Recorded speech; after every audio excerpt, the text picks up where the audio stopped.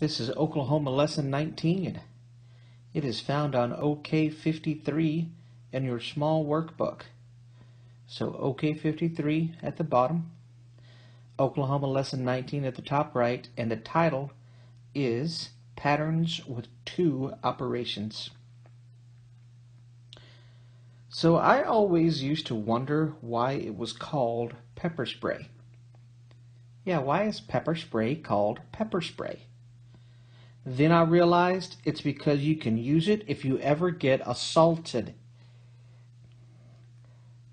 Pepper spray. Assaulted, salted. Really, Mr. Pangburn? Really? I went there. I went there with pepper spray. Made a joke out of pepper spray and people getting assaulted.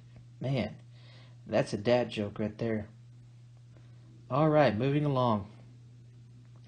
Ethan owes his mother $75. He is paying her $5 each week. Answer exercises 1 to 8 to complete the table that shows the amount Ethan still owes after five weekly payments. All right, so let's go ahead and do that. How much money will Ethan have paid after one week? Well, we know that's $5, right? $5. Show how you know the amount he still owes after one week. Well, he had 75 first, right? Then he paid back 5. So we do 75 minus 5, that equals 70. $70. How much money will Ethan have paid after two weeks? Well, we've got $10, right? Well, write an expression that shows how to find this amount. So we take 5 times 2, right? Right? Two weeks $5 a week, so we do 5 times 2. Now we write the expression using W for the number of weeks. So now we're going to do 5 times W or 5W. So either way, either way that will work. So then number 3, use the expression from exercise 2, so the 5W, to show how to find the amount Ethan still owes after W weeks. So we would do 75 minus 5W. The expression above is a rule for the table. It describes a pattern of change. Write the rule in the row with W. Use the rule to complete the table. The rule to complete the table. Okay, so I've already completed it for us. So we've got W, that's our rule. 75 minus 5w. So week 1, we subtract 5. Week 2, subtract 10. Week 3, subtract 15. You can see we're doing times 5, times 5, times 5, right? And then we take 75 and minus that 5w, and 5, the w here is 5, so it's 5 times 5, 75 minus 25 is 50. So after five weeks, he'll owe $50. What happens to the amount Ethan still owes when the number of weeks is increased by one? Well, he will owe $5 less. Right? Little $5 less if it's increased by one.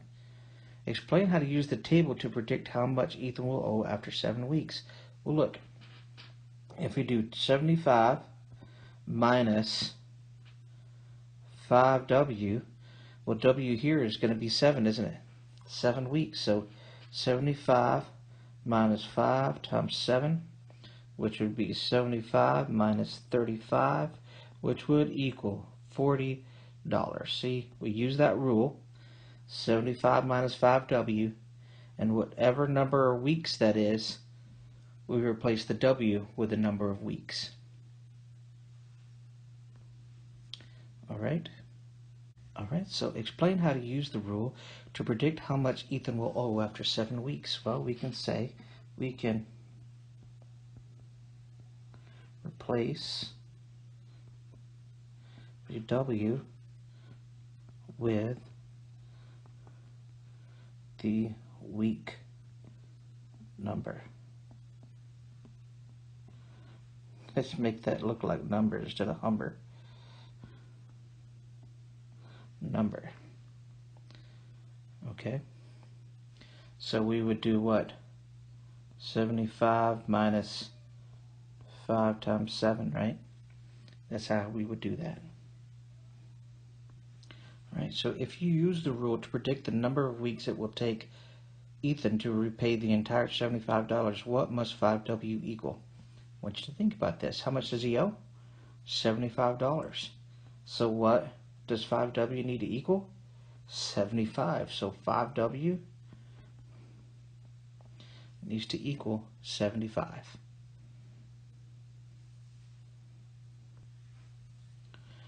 Alright, so on 9 through 13, I'm going to have you do a lot on your own. Alright, so pay attention because we've done some together. Now you're going to do some on your own.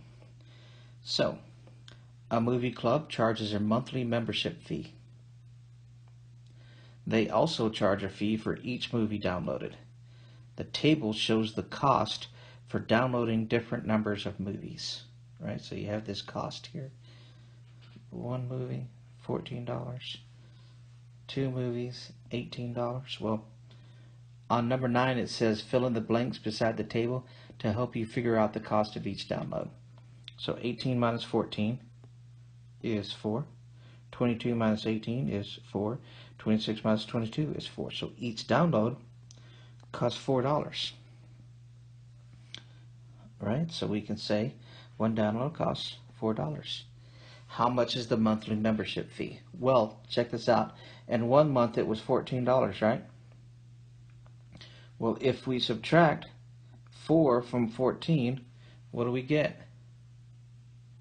We get 10. Alright, so we subtract that 4, 4 from 14 to get the $10. That's how we, much we know the, uh, uh, the membership is. Okay? I want to see if you can do this. See if you can impress me with this.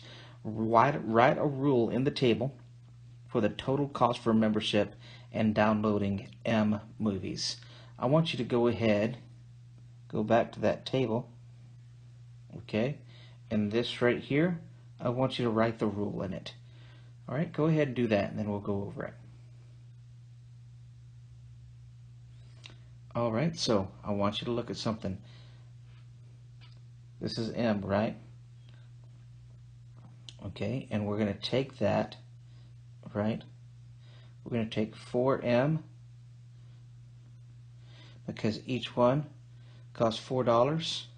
Okay, we're going to multiply that number of movies. So you've downloaded four movies. Okay, so 4M plus 10. Now the 4 is not the 4 here. That would be the m. That would be 4 times 4. We would put 4 with m. The 4 in the 4m is the cost of each movie. The cost of each movie download. So 4m plus 10. You could say 10 plus 4 times m, 4 times m plus 10. Several ways you can do it. maybe I'll pause this and get some um, get some of the rules that you did. All right, so let's go ahead and go to number 11.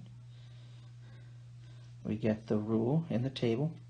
Use the rule in the table to make a prediction. What is the total cost for membership and downloading nine movies? All right, and then I want you to explain that answer. And you can explain that answer by using math. All right, go ahead and do that, and then we'll go over it.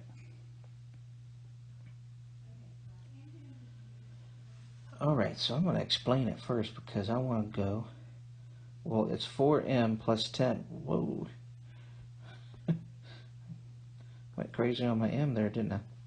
4m plus 10. Well, 9 movies, so 4 times 9 plus 10. So that would be 36 plus 10, so that would equal 46.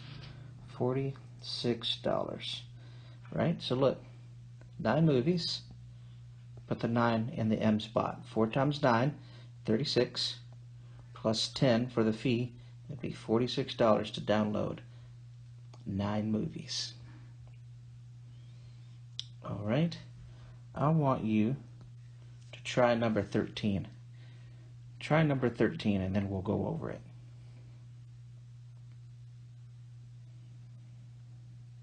Alright, so if I wrote a rule, I would use 2p plus 1 because I'm multiplying each number times 2 and then adding 1.